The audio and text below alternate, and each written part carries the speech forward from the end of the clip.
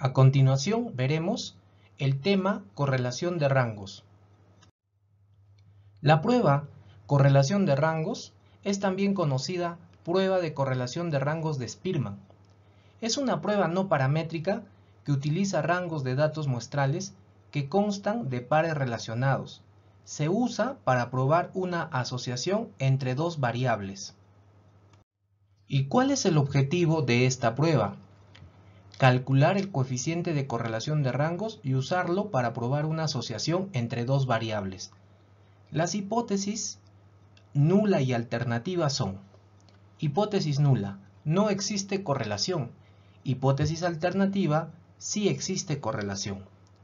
En cuanto a los requisitos, el primero, los datos deben de ser pareados y extraídos de manera aleatoria simple. 2.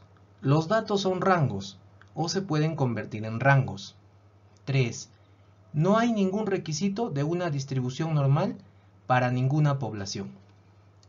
¿Y cuál es el estadístico con el que se va a trabajar? Es la T de student, siempre en cuando el número de datos pareados sea mayor o igual a 10 y con n-2 grados de libertad. Pero ¿cómo se halla esta T de student? Se halla mediante una división. R de Spearman entre la raíz cuadrada de la división de 1 menos la R elevado al cuadrado dividido entre el número de datos de la muestra menos 2. Recordemos, finalmente, que la R de Spearman toma valores desde menos 1 hasta 1. Veamos el siguiente caso. Un sindicato entiende que la cantidad de horas diarias trabajadas tiene relación con el nivel de estrés de los trabajadores. A mayor cantidad de horas trabajadas, mayor nivel de estrés. Para sostener esa hipótesis, el sindicato utilizó los siguientes datos obtenidos de una muestra aleatoria de trabajadores. Mediante un coeficiente adecuado, investigue si existe una asociación entre el nivel de estrés de los trabajadores y la cantidad de horas trabajadas. En caso de existir esa relación, indique qué sentido y fuerza tiene. ¿La relación hallada se da también a nivel poblacional? Bien, luego de relacionar los rangos de los datos pareados y con el apoyo de Excel, obtenemos un valor de 0,7454, que quiere decir que a mayor número de horas diarias de trabajo, mayor es el nivel de estrés. Por lo tanto, la correlación de rangos es directa a nivel medio. Pero eso es a nivel muestral. Ahora veamos a nivel poblacional. Para ello proponemos nuestra hipótesis nula.